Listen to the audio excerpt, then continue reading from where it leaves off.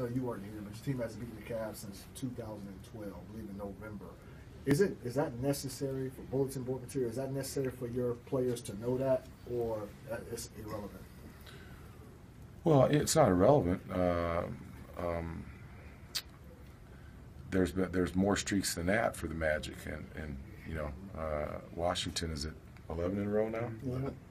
So we just came off a game where a team beat us 10 in a row, and uh, you know we, we didn't uh, we didn't have come out with you know the type of effort and focus that we need to come out with. So uh, I mean the guys are aware of that, uh, but you know uh, depending on you know the type of people we have.